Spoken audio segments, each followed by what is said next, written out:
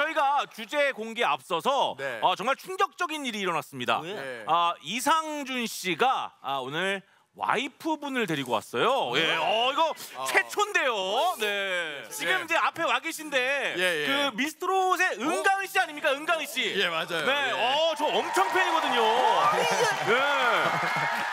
근데 아직 혼인 신고는 안 하신 거죠? 예, 안 했습니다. 어, 아이고, 네. 이게 뭐 혹시 뭐 청약 받으려고 위장 결혼한 거 아니야?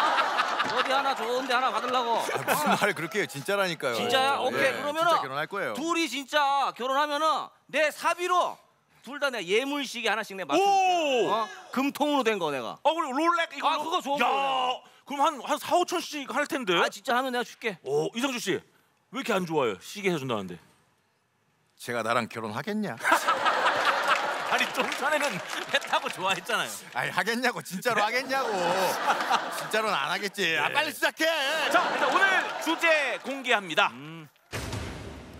오징어 게임에 참가 제의를 받는다면 참가한다, 참가 안 한다. 자 그러면은 제가 오늘 여러분들 여기서 무궁화 꽃이 피었습니다 게임을 한번 하겠습니다. 오. 그래서 끝까지 살아남는 한 분에게 치킨 쏘겠습니다. 오! 자 일단 다 움직여 보세요. 움직이나 보이다. 자, 자, 자, 네네네. 움직여 보세요. 어, 자, 자, 움직이죠, 자, 움직이죠. 오, 네. 무궁화 꽃이 피었습니다.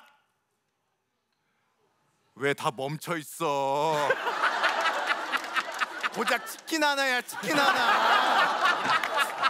치킨 하나에 이렇게 다 이렇게 멈춰 있는데 450억 준다는데 무조건 참여해야지. 야, 25번 김경희. 이 정도면 안 준다는 걸 알아야 되는 거 아니야? 왜 계속 이러고 페이크인 줄 알고.